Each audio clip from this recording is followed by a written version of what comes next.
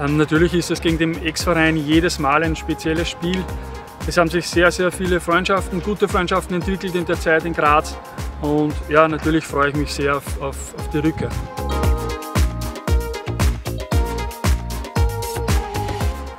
Aber ich glaube, das hat man auch in der Hinrunde gegen, gegen, gegen den GRK gesehen, ähm, dass wir durchaus äh, Momente hatten, wo wir sehr gut mithalten können. Ja, und mit ein bisschen Spielglück ähm, kann man in der zweiten Liga in Österreich, das weiß jeder, äh, jedes Spiel gewinnen.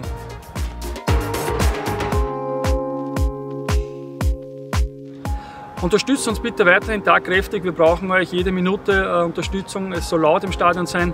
Ähm, ja, und dann äh, fahren wir auch die Siege sicher wieder ein. Liebe Wiener Familie, unterstützt uns am Freitag um 20 Uhr gegen den GAK in Graz. Wir freuen uns.